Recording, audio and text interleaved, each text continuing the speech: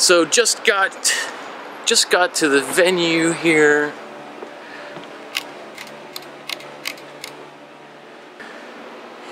This is where we're going to be performing tonight.